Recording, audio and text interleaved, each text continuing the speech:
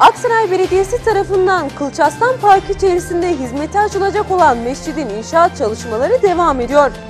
Koronavirüs önlemleri kalktığında yoğun olarak kullanılması beklenen Kılçaslan Parkı'nda vatandaşların ibadethane gereksinimlerini karşılamak amacıyla başlatılan mescit yapımında Selçuklu mimarisi kullanıldı. Belediye Başkanı Evren Dinçer, mescit inşaatında sona yaklaşıldığını belirterek, inşaat çalışmalarının tamamlanması ile birlikte iş tefrişatının da yapılarak vatandaşların hizmetine sunulacağını ifade etti.